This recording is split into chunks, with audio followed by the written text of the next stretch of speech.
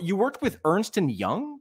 I don't know a lot about them other than, and I, I, purposefully didn't do a ton of research, but it's really like consulting and thought and charting courses. That's sort of what I get at Ernst and Young. What did you, what superpowers or what skills did you get about your time from your time there? So my goal there, um, the uh, so I'm a little bit of a healthcare geek, to be honest. And so oh, that's like, cool. I was like, okay, well, if I do consulting, I can travel around the country and see how healthcare is delivered in different parts of the country, in different hospitals, different health systems. And so I was like, I'm in. And what young person doesn't like to travel? So sure. I um, I thought this would be really interesting. And you know, I've been fortunate to have some good mentors um, throughout my life. And so one of my mentor said to me, he said, This is going to be a really good opportunity for you. And so I would say when you're a consultant, you get a lot of exposure to different different environments, different levels of thinking, all of that. Um, I'd say number two, as a consultant, you'd be very methodical in how you approach things around problem solving and or going from a idea to a implemented whatever action. So um, those would be two of the things. And I'd say third is um, I just have developed a tremendous network because yeah. I worked in so many different types of settings. Um, Ernst and Young at the time was one of the big six firms. I don't think right. there's not that many anymore.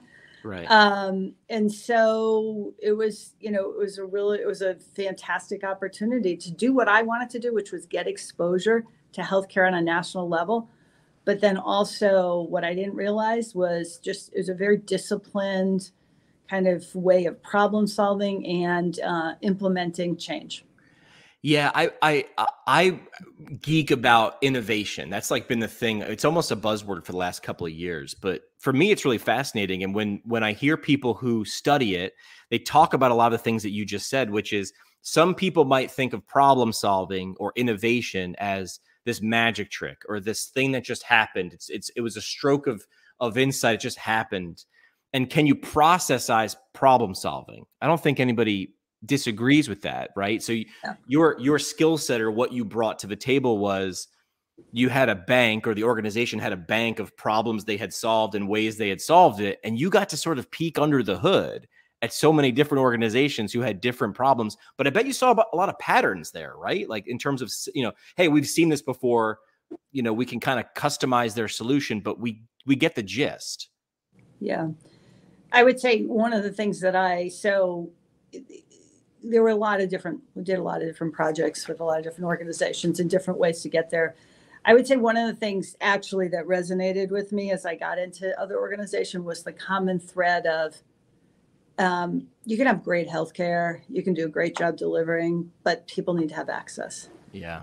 And so that was one. And so that that was something I didn't like. I didn't walk in with that but as I got exposed, it became one a little bit of a, of a personal area of interest. Was that something you spotted, or was it something other people kept highlighting too? No, it was as I went to these different organizations, I would see the same theme yeah. play out.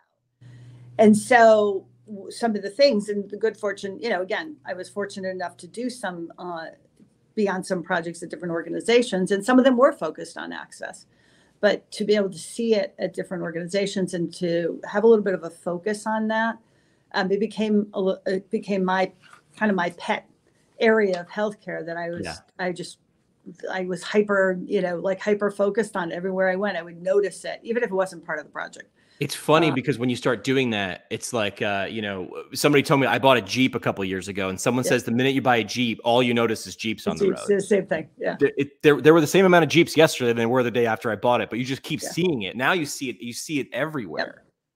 Yeah. So that afforded me, like I said, some some uh, new skills and abilities, but it also allowed me to to to see to kind of do my little study um, around different organizations and uh, in healthcare delivery and, and what they did for access. And everyone had their strengths, and but there were always gaps too. Right. Um, so, and then when you talk about innovation, I mean that's that again. How do we, when we think about delivering healthcare, improving the lives of our communities, and then also thinking about just as a society, how do we improve?